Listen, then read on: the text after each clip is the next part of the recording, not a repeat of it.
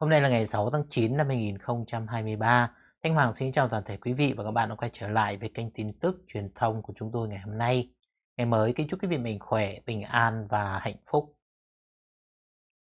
Thưa quý vị và các bạn thân mến, thả cửa quyền lập hội của Đảng và siết chặt quyền lập hội của công dân. Theo Triệu thử Long,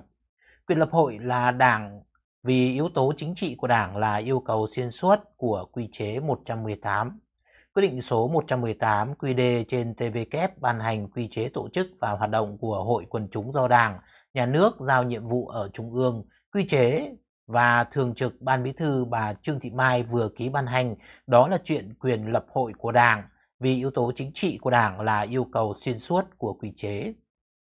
Nếu là hội của nhân dân, thì vấn đề chính sẽ là ý chí nguyện vọng của người dân không chịu sự giới hạn vào quyền chính trị mà chỉ tuân thủ theo hành lang pháp luật hiện hành. Để tránh bị quy chụp về điều luật hình sự 117 hay 331, bài viết này xin nhấn rõ từ đầu là các biện dẫn thuần cách hiểu của giáo trình trường luật và những góp ý đều trên tinh thần theo hiến định tại Điều 28.1 công dân có quyền tham gia quản lý nhà nước và xã hội, tham gia thảo luận và kiến nghị với cơ quan nhà nước về các vấn đề của cơ sở, địa phương và cả nước. Trước hết thì khái niệm hội được định nghĩa từ điển là sự liên kết nhiều người với một lợi ích chung hay là một nhóm người công khai liên kết vì một mục đích đặc biệt. Như vậy thì khái niệm hội cần được hiểu một cách đơn giản đó là sự liên kết một số người vì công việc hoặc mục đích lợi ích chung nào đó. Tuy nhiên, pháp luật của hầu hết các nước đều không thừa nhận một tổ chức là hội nếu tổ chức đó được thành lập vì mục đích kinh doanh tìm kiếm lợi nhuận. Nếu các cá nhân liên kết với nhau vì mục đích tìm kiếm lợi nhuận thì tạo ra tổ chức kinh tế là doanh nghiệp, công ty và các hoạt động theo luật doanh nghiệp, luật thương mại. Hơn nữa thì hội không những là tổ chức phi lợi nhuận mà còn là tổ chức phi nhà nước mang tính tự nguyện, tự quản và tự trang trải kinh phí hoạt động. Quyền lập hội là quyền cơ bản của con người và công dân. Quyền này còn được Tòa án tối cao Hoa Kỳ coi là một phần cơ bản của quyền tự do ngôn luận. Vì trong nhiều trường hợp thì người ta chỉ thực hiện quyền này có hiệu quả khi kết hợp với người khác. Điều 18 Hiến pháp Italia năm 1947 quy định công dân có quyền tự do lập hội và không cần sự cấp phép nào miễn là mục đích thành lập hội không cấm trong pháp luật hình sự. Luật về hội của Ba Lan năm 1989 quy định hội là sự liên kết tự nguyện, tự quản, bền vững và không vì mục đích lợi nhuận.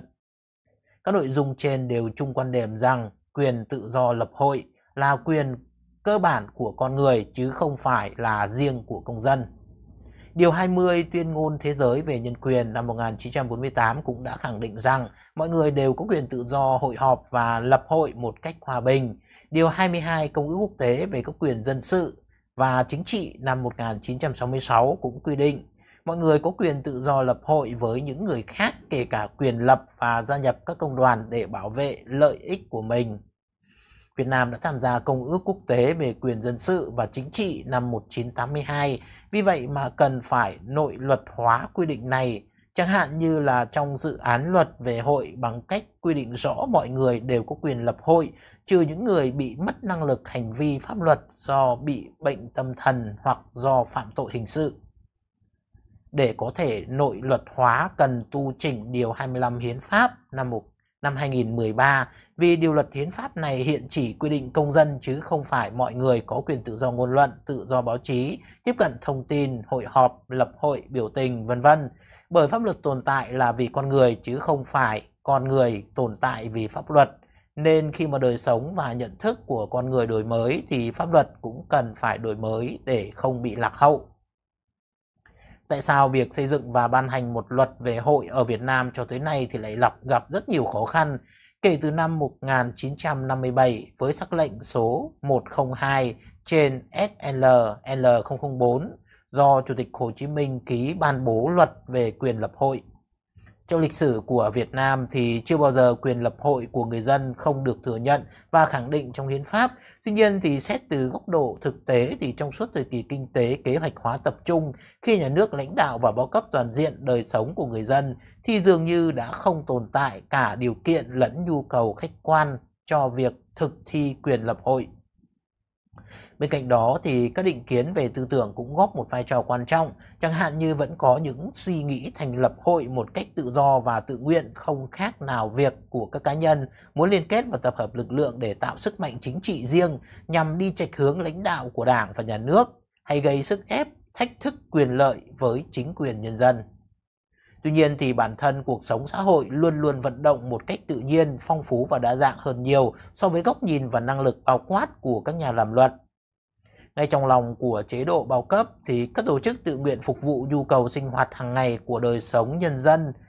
từ hội đồng hương đến hội nuôi ong, hội chim cảnh, cá cảnh vẫn cứ ra đời hoặc mặc nhiên tồn tại, cho dù thì không bao giờ được cấp phép hay đăng ký hoạt động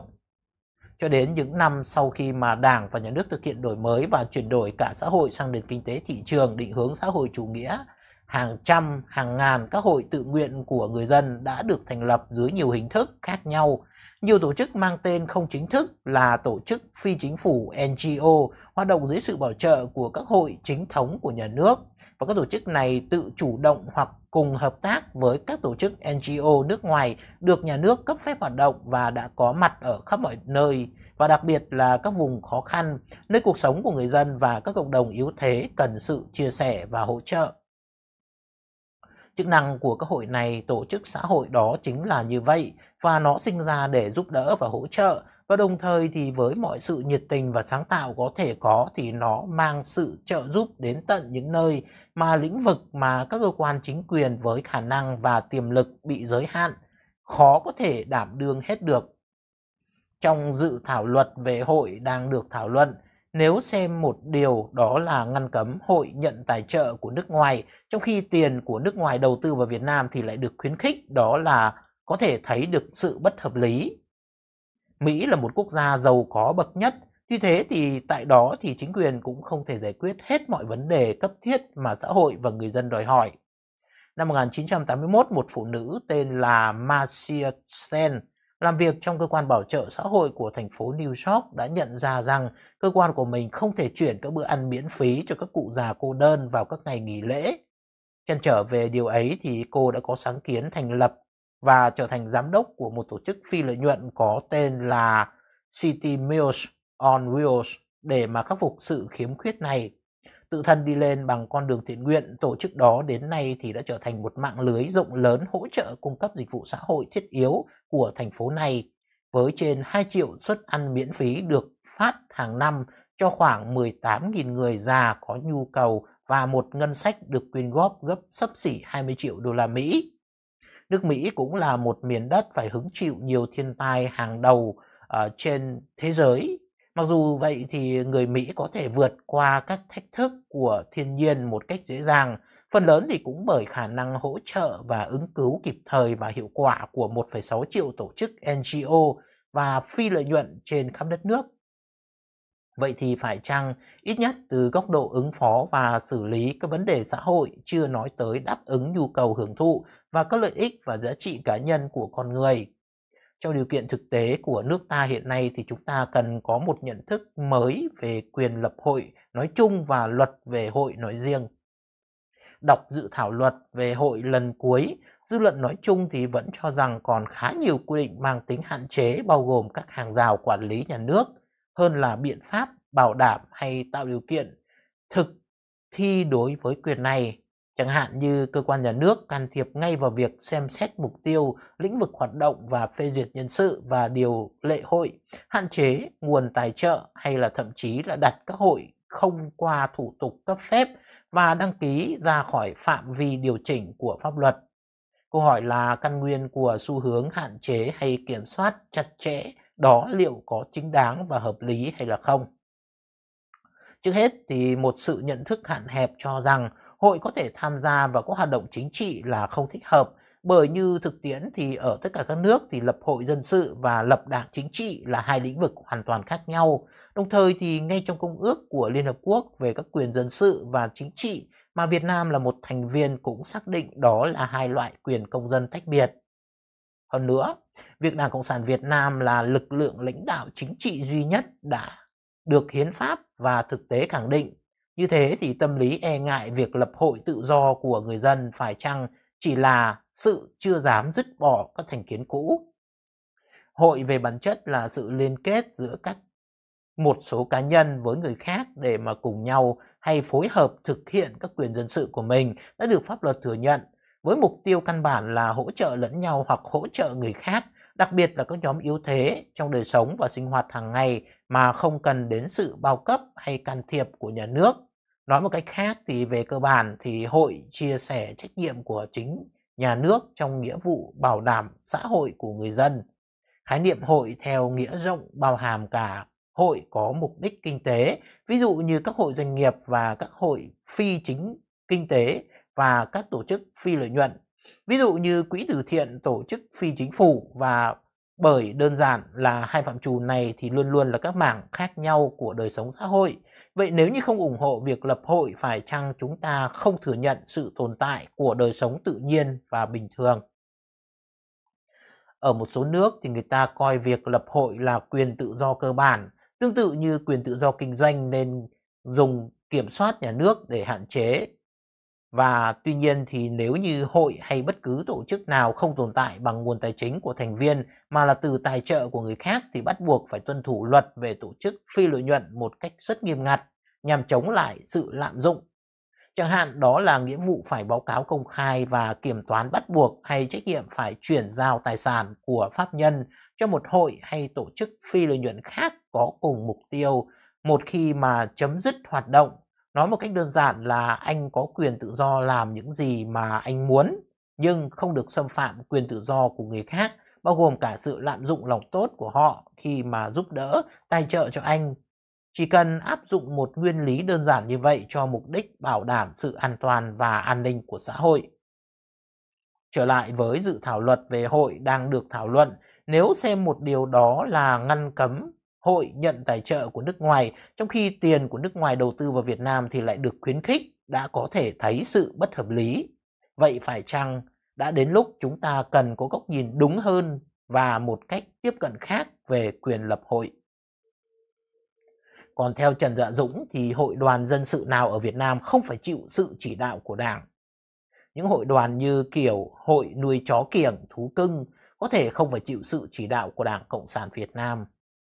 Nhận xét trên không phải là dè biểu hay châm biếm gì, mà đó là một thực tế qua đó cho thấy tính độc lập của các tổ chức dân sự xã hội ở Việt Nam hiện nay rất là hiếm hoi khi mà mọi hoạt động nếu không phải chịu sự chỉ đạo trực tiếp của Đảng thì cũng buộc phải theo lề lối định hướng của Đảng.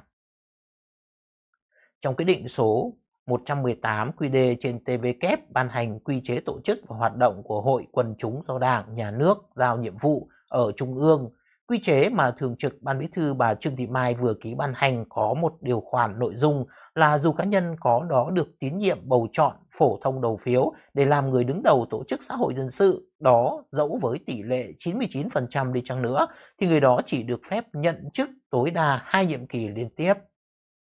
Theo quy chế thì về tiêu chuẩn điều kiện buộc người nào đó được tín nhiệm của các hội viên thì trường hợp muốn đề cử những người đó vào các chức danh chủ tịch, phó chủ tịch hội thì những ông bà này phải đáp ứng tiêu chuẩn điều kiện theo quy định như có phẩm chất chính trị, có nghĩa là phải là đảng viên Đảng Cộng sản Việt Nam, đạo đức tốt, có năng lực lãnh đạo, quản lý, có uy tín và kinh nghiệm công tác đối với các hội chuyên ngành cần có chuyên môn phù hợp. Đối với lãnh đạo hội là người đã nghỉ hưu nếu như mà tiếp tục làm việc phải có đủ sức khỏe uy tín cao, được ban hành vụ và ban chấp hành đồng thuận, nhất trí giới thiệu. Về độ tuổi chủ tịch, phó chủ tịch hội là người đã nghỉ hưu thì tuổi giới thiệu lần đầu hoặc tái cử không quá 65 tuổi. Đối với chủ tịch hội, trường hợp đặc biệt thì không quá 70 tuổi do cấp có thẩm quyền xem xét quyết định. Về nhiệm kỳ, chủ tịch, phó chủ tịch hội giữ chức vụ không quá hai nhiệm kỳ liên tiếp Trường hợp đã giữ chức vụ hai nhiệm kỳ liên tiếp mà chưa đến tuổi nghỉ hưu theo quy định thì cấp có thẩm quyền xem xét quyết định. Quy chế có phần kết đưa ra yêu cầu là toàn đảng, đoàn, quốc hội, ban cán sự đảng, chính phủ chỉ đạo sửa đổi, bổ sung, hoàn thiện quy định pháp luật liên quan đến hội và quản lý sử dụng tài sản, tài chính của hội. Ban cán sự đảng, chính phủ chỉ đạo công tác quản lý nhà nước, quyết định biên chế kinh phí hoạt động và điều kiện làm việc, chế độ, chính sách của hội gắn với nhiệm vụ được giao. Ban cán sự đảng, các bộ ngành trung ương chỉ đạo công tác quản lý nhà nước đối với hội, thanh tra, kiểm tra, hoạt động của hội và pháp nhân trực thuộc hội, xử lý nghiêm minh vi phạm, ban tổ chức trung ương theo dõi hướng dẫn công tác nhân sự đối với hội. Ban dân vận trung ương chủ trì phối hợp với các ban đảng trung ương và các cơ quan liên quan theo dõi, đồn đốc, kiểm tra, giám sát và tổng hợp kết quả thực tế định kỳ báo cáo Ban Bí thư. 30 hội đoàn thuộc diện chịu trách nhiệm thực hiện quy chế trên gồm có Liên hiệp các hội khoa học và kỹ thuật Việt Nam, Liên hiệp các hội văn học nghệ thuật Việt Nam, Liên hiệp các tổ chức hữu nghị Việt Nam, Liên đoàn Thương mại và Công nghiệp Việt Nam, Liên minh Hợp tác xã Việt Nam. Hội chữ thập đỏ Việt Nam, Hội Nhà báo Việt Nam, Hội Nhà văn Việt Nam, Hội Luật gia Việt Nam, Liên đoàn Luật sư Việt Nam, Hội Người cao tuổi Việt Nam, Hội Đông y Việt Nam, Hội Kiến trúc sư Việt Nam, Hội Cựu thanh niên sung phong Việt Nam, Hội Mỹ thuật Việt Nam, vân vân.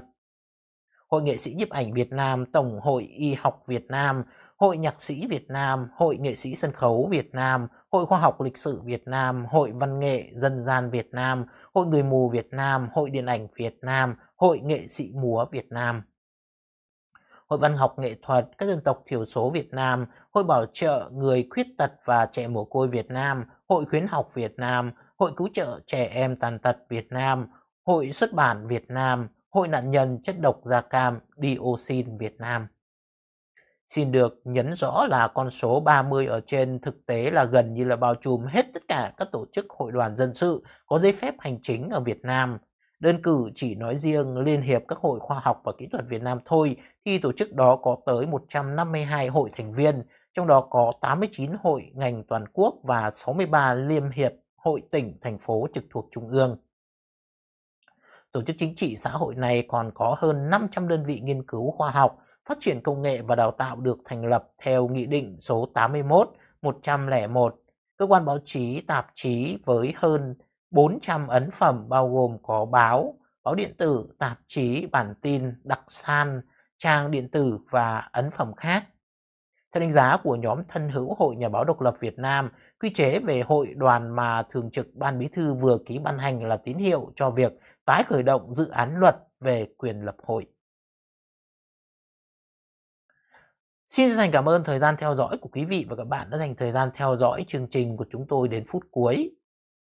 Hãy để lại những lời bình luận góp ý ở bên dưới video để giúp cho chúng tôi thực hiện các chương trình kế tiếp một cách tốt hơn. Hãy bấm nút chia sẻ để thông tin được lan tỏa đến với nhiều người hơn. Hãy bấm nút đăng ký để trở thành thành viên tích cực của kênh. Và đừng quên bấm vào hình cái chuông bên cạnh nút đăng ký để nhận được những thông báo nhanh nhất, sớm nhất và không bỏ lỡ bất cứ một chương trình nào mà chúng tôi sắp phát hành.